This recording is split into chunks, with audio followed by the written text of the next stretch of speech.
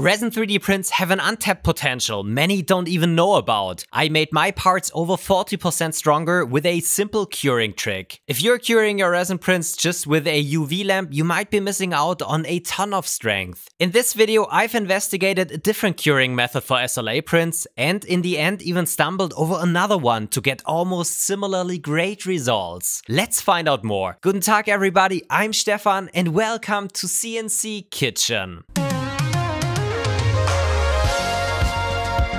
This video is sponsored by Squarespace. Everyone can create a beautiful website and Squarespace is the best place to start. Get a free trial at squarespace.com slash cnckitchen. I honestly don't print a ton with resin, yet when I do I'm always impressed with the amount of details this process can achieve. Resin prints are often ill-famed for their brittleness and low durability, yet if you select the right photopolymer, these parts are not only strong, but more significantly have a similar strength regardless of the printing orientation and I tested that quite a while back. Resin 3D printing is a multi-step process. The UV curable resin itself is really interesting. It's a mixture of monomers, which are small molecules, oligomers, which is basically some of the monomers already combined, and the magic compound, the photoinitiators. Once UV light hits the substance, the photoinitiators help the monomers and oligomers to connect and form a polymer, so basically hardening it. During the initial printing process, the resin is only cured very briefly, which results in a solid structure but still leaves part of the resin uncured. This is the reason why after washing the parts on the outside, they are post-cured either outside in the sun or in special curing chambers where the print is rotated and blasted with UV LEDs. This way the part gets fully hardened and ends up with its final properties. Well, this is what many think. If you ever worked with composites or epoxy resin, you will know that if you want to get the most strength and temperature resistance from your carbon fiber parts, you need to temperature cure them. This means that you put your parts in an oven for a bunch of hours to fully harden the parts. Only at these elevated temperatures the resin properly cures, giving the best part quality. Yet temperature curing is something that I have rarely seen with 3D printing, at least with consumer equipment and consumer curing stations. Let me know in the comments how you actually cure your resin prints. So I just had to try out if we can also increase the strength of UV resin prints if we temperature cure them. That's why I printed a number of tensile test samples, then cured them at different temperatures and finally broke them on my self-built tensile testing machine. Different resins will have different compositions and therefore will also behave differently. Since I can test every resin, I decided to try out my theory with the OG tough resin, which is Siraya Tech Blu. Link in the description by the way.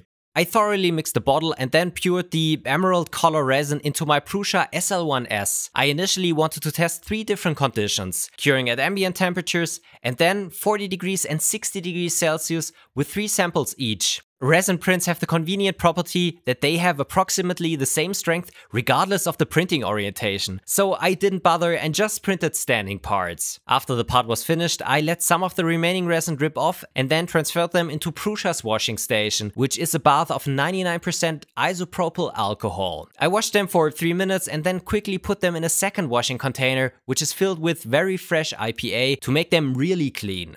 Then it was time for the curing experiment. Most inexpensive curing stations only have a UV light and a turntable and nothing to actively heat the parts. On the other side of the spectrum, you have, for example, Formlabs curing station, which is designed to go all the way up to 80 degrees Celsius. And if we look at their material data sheets, none of their resins is cured at less than 60 degrees Celsius. So there must be something to curing at elevated temperatures. My Prusa CW1S washing and curing station also has an integrated heater that can increase the temperatures in the chamber up to 60 degrees Celsius. So I initially thought this was going to be easy and I could do all of my tests with this accessory. Unfortunately, I quickly learned that you can only set the temperatures for the initial drying step, yet once curing with the UV LED starts, the heater will be turned off. This will of course mean that the temperature is going to drop during the curing process, which might reduce the heat curing effect. I still wanted to give it a try and started with curing the first set that I didn't preheat at all. I set the curing time to the recommended 15 minutes that I found in the datasheet and added an additional thermocouple to get an idea about the temperatures close to the samples.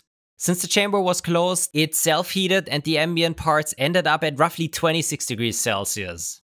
For the two other set of samples, I set a drying time of 20 minutes to properly heat them through and drying temperatures of 45 degrees Celsius and 60 degrees Celsius. Since the CW1S has its temperature sensor next to the heater, there will be a slight temperature difference to the heater itself. With my set values, I landed at 42 degrees Celsius and around 58 degrees Celsius during drying, though as I said before, they dropped quickly once UV curing started and the heater turned off. I was a bit bummed about that, but I had an idea how I could get stable temperatures in another test. Yet I still was curious if we could already see an effect, so I went on to test these samples on my DIY universal test machine.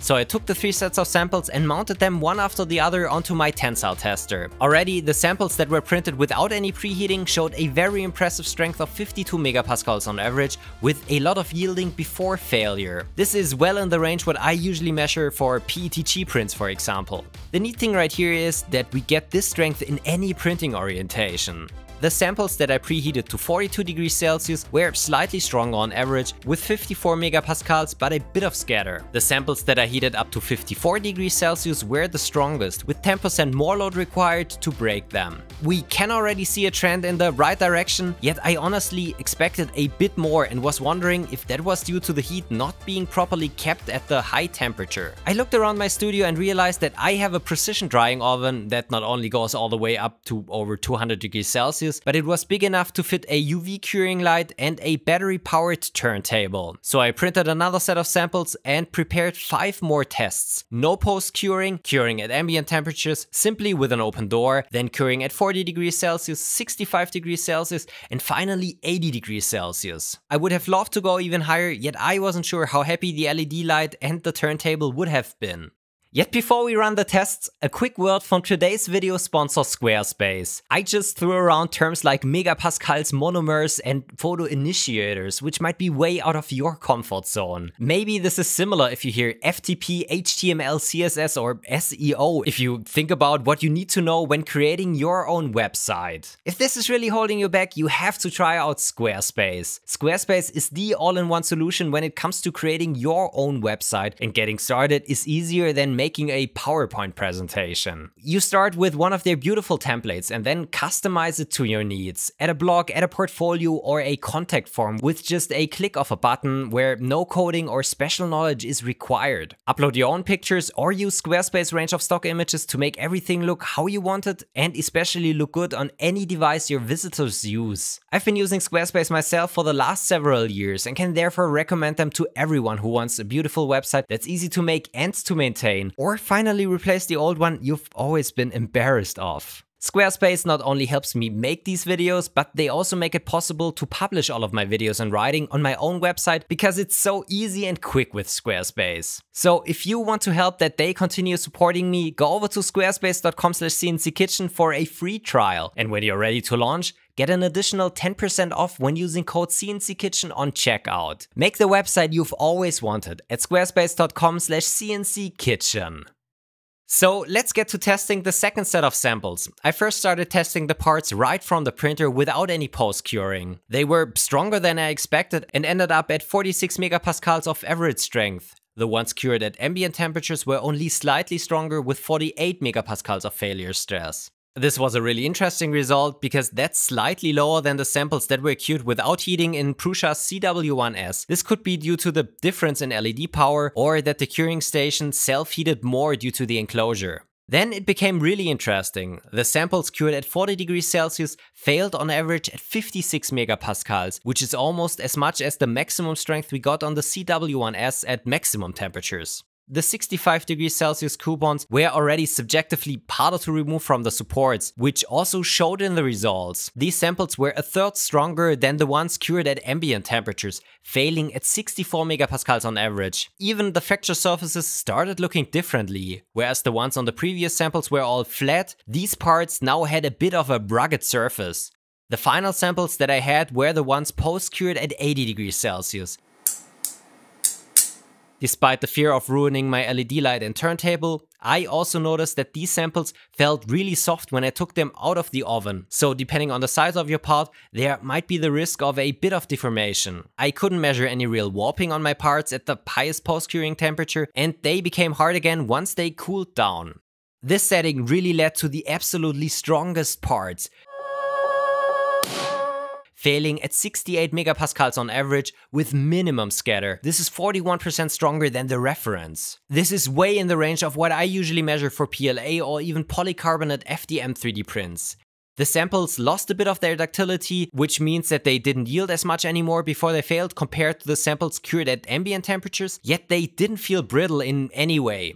I also checked this with two sets of impact samples. These were struck by a swinging hammer, and the more energy they absorb during the impact, the less far the hammer swings up, and the tougher they are. I was able to see a slight reduction in impact strength. Yet again, nothing serious and the impact strength itself is still over the one of regular PLA and even PETG. This again shows that if you use the right SLA resin, these parts are not only strong, but also tough. I thought I was finished and started writing the script when I stumbled over something I would not have expected and which could change all of this again. I wanted to make the argument that you need both heat and UV light at the same time to get the curing advantage. To substantiate that claim, I quickly tried it out and put one of the samples that I previously cured without heating in the curing station into my 80 degree oven for an hour and then let it cool down. This time I put the samples on a box, so they just sat in there without any UV light. When testing these samples, I almost reached the strength of the parts that I UV cured with heat. So it seems that you even get a strength advantage if you basically anneal the parts in an oven after post-curing, even though the mechanism is probably different from what you know from annealing FDM prints.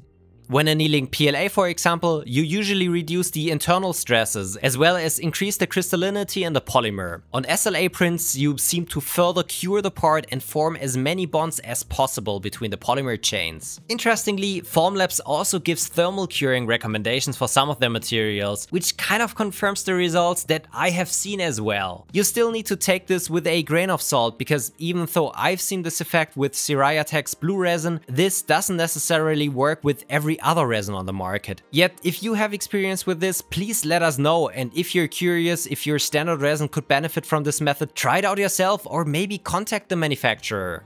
It was really impressive to see that there's still so much untapped potential in resin 3D prints that you can squeeze out of them if you cure them properly. Of course, not all resins will behave similarly, and if you print miniatures, you might prefer toughness over maximum strength. Yet if you do anything functional with your SLA prints, consider setting up a heated chamber for the post-curing step or even put them in an oven after you post-cure the part. This could be as simple as a box on your FDM 3D printer's heated bed. But what about you? Have you ever experimented with different curing techniques and what do you think might be interesting to investigate in the future? Leave a comment down below. Thanks for watching everyone. I hope you found this video interesting. If you want to support my work, head over to Patreon or become a YouTube member. Also check out the other videos in my library. I hope to see you in the next one. Auf Wiedersehen and goodbye. These samples were a third, a third stronger.